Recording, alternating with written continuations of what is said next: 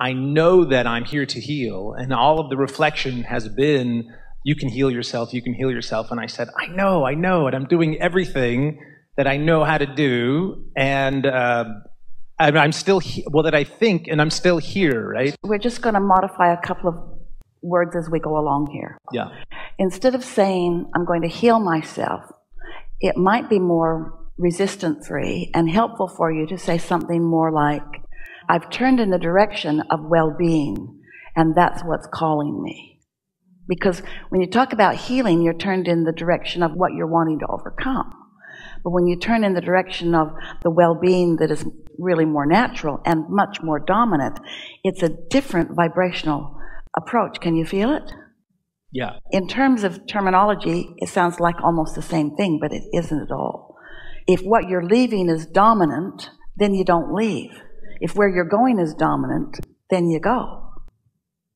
So you just have to ask yourself what the word healing means. Is it leaving something unwanted or is it moving towards something wanted?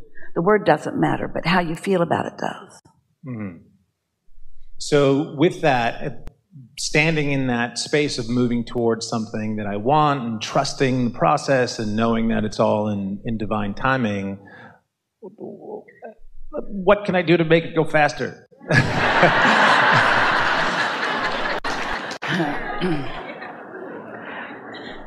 we would watch an unrelated movie.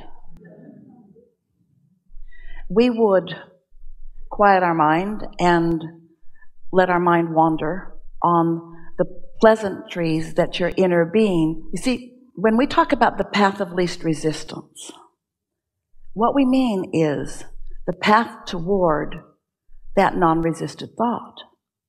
Non resistance is non resistance. The path of least resistance is the path to non resistance. So, the path of least resistance or the path to non resistance is a really feel good path. Feel the difference between overcoming something, which is full of grit and determination, and the feeling of letting well being be. They're different feelings.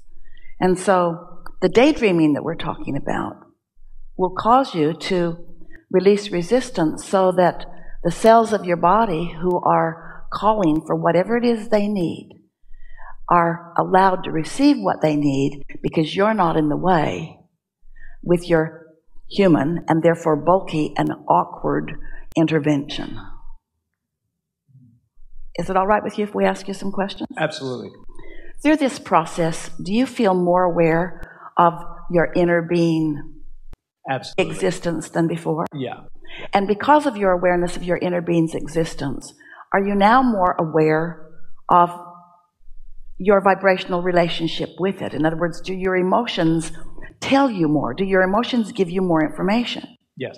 And can you tell the difference between trying and letting? Most of the time.